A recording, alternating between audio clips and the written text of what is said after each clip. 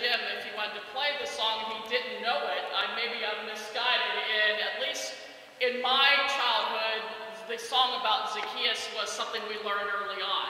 Just kind of nod if you go, yeah, Zacchaeus was a wee little man. A wee little man was he. He climbed up in the sycamore tree for the Lord he wanted to see. It's a really catchy little ditty, Jim. I'm sorry you missed it. I was going to have him play that to start out, but good thing I did because they'd be like, what is she doing that was so foundational, and trust me, maybe it's a Methodist thing. But anyone who in the Methodist circles spent any amount of time, even a brief one, in Sunday school or at vacation Bible school, we knew this song. And even after years removed, we still know this song. It's as familiar to us as our own name.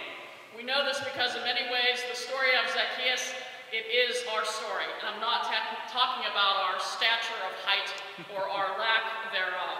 I'm talking about our stories. Of course, this story is found in Luke's gospel, and only in Luke's gospel, because Luke, the physician, his entire gospel, and personally it's my favorite because it's filled with these great stories. And Zacchaeus is one of these stories, the story of the journey of our lives of faith. Basically, the story of Zacchaeus is an account of a person's journey of encountering the Christ, responding to the invitation and then claiming and living into repentance. No pun intended. But if we're being honest, we all fall short in our discipleship. And I dare say we also, we all can be very taxing to others. and to go farther, I'm sure there are many who have said to us, why don't you go climb a tree? Truth be told, probably not many of us have ever been called a saint. Yet, I wonder why not? After all, let's ask ourselves what is a saint? We tend to stick the label of saint on persons who are seemingly perfect. On people who have never uttered so much as a gosh darn it in all their lives, who always seem to be so put together, always charitable, always kind, and who appear to be perpetually backlit with peace, joy, love, and understanding. Now, I am comfortably, I say, in the man stage of life. And in my decades of living, I have never really encountered anyone like that. And to be quite honest, if I ever did, I don't know if I really want to spend a whole lot of time with a person like that. I got a feeling there wouldn't be a whole lot of fun. I got a feeling that I would always feel inferior around them. I would be uncomfortable and unsteady of my own self. And honestly, I don't think when we toss around the term saint that the saints we remember and have encountered and know, I don't think they do those type of things either. I think the saints in our lives brought out the very best of who we are, made us feel at home, in our own skin and fully ourselves in Clint Eastwood fashion, fully ourselves the good, the bad, and the ugly. Just like school days where it used to be said that we went to learn the three R's, reading, reading writing, and arithmetic, today on this All Saints Sunday I present the three R's of sainthood, real, resilient, and relatable. When I reflect on the saints that I've been blessed to know and to be known by, to love and be loved by, they were very, very real people. They burnt the Sunday roast. they grew impatient with their teenage sons and daughters. By mistake, they bought, and this is true, by mistake, they bought their grandsons actual blow dart guns for Christmas. true story. Because nothing says Christmas like small children blowing darts into inflated balloons on the Christmas holiday. They cussed very creatively and frequently when doing car repairs. I wouldn't know if I would have used the F word in that way, but good job, Dad. they used spit on a Kleenex to wipe the grime off their children's faces. Their angst and yelling during any Steelers game cleared the room.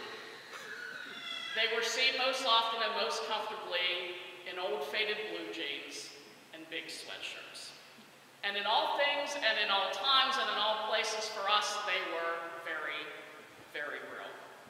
We took them as they were, and they welcomed us as we are. and that realness was for us a security, and it became an anchor for us in our lives. We each have our individual stories to tell, and also our corporate stories of our communities where we belong and that we bless and bear and build. And I dare say that not one of our individual stories nor our collective stories has always had an arc that's always on the rise. Always sunshine and good. It's so good we never stumble. We all have had our failures and our flights, our struggles and our successes. The moments of, I used to be, and now I am moments. I have to say that the saints in our lives, they got what the people I work with call, they got bounce. No matter what befalls them, they're managed to bounce back. I think one of the very best qualities anyone can have is resiliency. Tell me what you've been through, and tell me how you bounced back and how here you are. And oh, our saints were resilient. The saints I know have been through something, and let's be honest, all of us at any moment of our lives, we're either at the start of something, we're in the middle of something, or we're getting out of something. The saints I know had been through a lot of somethings and made that journey and helped us to realize that if they did it and were honest about it, then so could I. The saints I know were resilient. And as this holiday season now kicks off, let's be honest, once November roll around and the weather joined us a little brisk, we now start thinking of that holiday season, that rush. And let's be honest, in a couple of weeks, it will be Thanksgiving. And I have to tell a story of, I had mentioned earlier my mother. She was the youngest of 12, and she had five children, of which I'm the youngest. And it was kind of like my older siblings are all within two and three years, and then seven years, and hey, you're not done yet, because here I am. and my mom was widowed in her 50s and still managed, never remarried, and still managed then to keep this brood of children that then added on grandchildren. One of the things that was us, in a way that's almost metaphorical, was the Thanksgiving dinner, right? I mean, I'm in a generation where my mom would get up at probably 5 in the morning to prepare a Thanksgiving dinner for about 14 people. And we, and now as a family, since my mom's passing, we continue it because it's what you do. It literally takes about nine of us to get together and do what my mother managed to pull off herself. And we got to thinking, that's unbelievable. It takes nine do this, and it's not that good. and my mother did it brilliantly well. Martha Stewart well herself. Talk about resilience, and then you ask, well, why did she do it? Because she loved us because she loved us. And my mother and my grandmother and all my aunts, one of the ways they showed love was through food. They loved me very well. so when we think of saints and we celebrate that sense of realness and resiliency, too often I think we too quickly put our saints on pedestals or we shield them in stained glass. And what that does is it puts a distance between the saints and makes them somehow unattainable. My experience with the saints in my life, however, is how unbelievably relatable they were to me. They didn't pretend to be anyone or anything other than who they were. At their very best, at their and at their very worst. They never looked down on me. They sought to understand the lens through which I was seeing my own experience. When I'm in the middle of something, the saints I know invite me over to have an adult beverage on their deck. Or they invite me over and say, so why don't you come over? I made a pie, let's have a cup of coffee and let's just talk. There's no judgment. There's no false piety. There's no tisk-tisk-tisking or unsolicited advice. There is only listening and provision of safe space for me to be able to tell my story. And in their listening, they help me to process through it. It was like the saints I've known relate to me so much, they had some sense of when to invite me over for dinner. Not pressure, just presence. And what a gift that is. You don't need to say anything that's going to be like, well, that's a great line, pardon me while I write it down. We don't remember that. We remember how they related to us, how they sat next to us and just allowed us to work through it. Sat with us in what was never an uncomfortable silence. It was just the power of another's presence. The gift they shared listened me into the fullness of who I am. I was speaking um, yesterday at the United Methodist Women's meeting, a gathering, their fall Thanksgiving gathering, up in Sarver, which is near my hometown of Freeport. And we were talking about gratitude. And I remember reading something when I was like in high school. And I think it was from the Christian writer Max Lucado. And he made the comment that he, and he had this metaphor, and I really like it, so go with me on this a little bit. And think about as well as the day goes on and reflect on the saints in our lives. He said that he believes in heaven we each got a room. And in that room are all the tangible objects that were key moments in our lives of faith, our journey. Kind of cool. Um, whether it happens or not, I don't know, but it's a fun metaphor to play with, right? So in my room in heaven, I can tell you that people who have journeyed me into my faith and I help me as I stand before you as having been ordained 27 years, there is Sarah Walton Baugh's telephone. Sarah Walton was a lovely older member of my home church. And every youth Sunday, and you know how those are, stand up there, you're nervous, join me in the call to worship. And you can hardly even hear.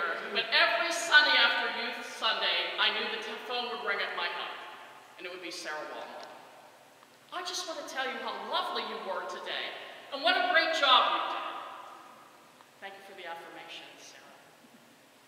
In my room is Jan Porter's checkbook. Jan Porter was the organist at my home church, and when I announced that I was going to seminary, it was Jan Porter who every Sunday when she would come out and she would see me, she'd shake my hand, give me a hug and a kiss on the cheek, and slip a $5 bill in my hand. Thank you, Jan. No flash, just stick. In my little room in heaven is a yellow Buick. A yellow Buick when I was nearing the end of seminary, I was about to go into my senior year of seminary. We went on uh, the church I was student assistant pastor at. We would do an annual youth mission trip to um, Appalachia, West Virginia. This was serious Appalachia, West Virginia. And we would go and we'd spend a week doing repairs on people's homes and then Part of that week, there was always a local congregation, actually many of them, that would put on quite a feast and would welcome um, us as the mission workers there to their church to celebrate with them, have a great dinner. It's actually very cool. And one day we were there, our senior high mission trip, there'd be about 40 of us between senior high adults, senior high youth, and, and adults. And we would go to this, and I remember one time going, and, and I confess that mission trip I was struggling because I was going to enter my senior year of seminary, and I was having a bit of a crisis of faith. Like, oh my goodness, in a year I'm not doing this stuff. I'm going to be like Reverend Snyder? Because I always looked at myself as the least likely person to be ordained. And I was really having a crisis of faith, and I was kind of tagged with this saying, is this the right thing to make? Because it's showtime in less than a year. And I was kind of keeping it with, inside me, and my good friend Cynthia went with me on that mission trip, and afterwards she says, come on, let's take a walk. There's a great old graveyard at the top of the hill. Oh, good. when I'm struggling, let's go walk through a graveyard. So we went and walked through this graveyard, and I was like, okay, and when we got back down, all the vans that took us to this church, which was about 40 minutes away, they all left. So Cynthia and I are standing there like, Cynthia, how are we getting home? Because it's through the hollers of West Virginia, and we don't have a car. And they all left. And I thought, now let's think symbolically. That's probably not a good sign. I'm struggling with, am I really going to do this? And everybody in my little church world in West Virginia left me standing at the church. So I'm thinking, oh, this is a sign. I'm going to go back to teach English. I'm going to coach girls softball. That's what I'm going to do. And a woman was still at the church, and she had a yellow and she said, you going back to the co-op? We said, yeah, come on, I live out that way, I'll give you a ride. So we got in her Buick, and Cynthia sat up front and I sulked in the back thinking, this is really bad. and we started driving and I was very quiet and Cynthia was keeping the conversation going. And at one point the woman turned around and said, so are you the leader of this group? I says, well, I am their youth pastor, so yeah, I guess I am. She says, you spoke tonight, right? And I said, yeah. She said, you have one of those Pittsburgh brogues, don't you? Pittsburgh brogue, I love that. And I said, yeah, I do, thank you. and she paused and she said, you know, I don't know why I'm saying this. I have no idea why I'm saying this. But I just want to tell you that if you've never thought about going into the ordained ministry, you really should. Because I think you'd be a good one. Buicks in my little room in heaven.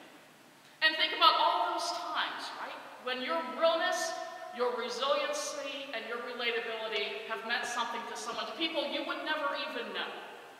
That's what being a saint is all about. Those that know you well and are blessed by that, and those you encounter that just by a word, a touch, a moment, a gift, you impact their lives, such as the wonder of sharing and being neighbors on this earth we inhabit. Through the lens of real, resilient, and relatable, take a moment today to reflect on the saints you have known. They are known to you because they journeyed beside you. It was you who they knew and loved. It was your story that intersected with theirs. With theirs. It was you they loved and you who loved them backwards and forwards and all the ways and places in between. For all these saints, we have been blessed. For all these saints remain in our memories, and they are alive as we continue to do the good works that they taught us how to do. And I think that's really a key point. When we tell the stories and we remember, that's important, but really there's a vacuum, right? When someone you love passes on, there's a distinct vacuum. There's not that, there's an empty place at the table. There are distinct losses. And I always think that how we fill that gap is we live and do what they taught us and showed us how to live and do. So fill the gap with doing what they taught you and showed you and journeyed you. I think we'd all agree that we are living in some very scary times, very unsettling times. And I don't know about you, but I think the world could use a whole lot more saints. And I'm looking at them. And I'm looking at them. Be real. Be resilient and celebrate your resiliency. And in all things, be relatable to those you know and love and call by name, and those you maybe sit in a committee meeting with or work with or pass on the subway. Be a saint. Be a light. Be a journeyman. Amen and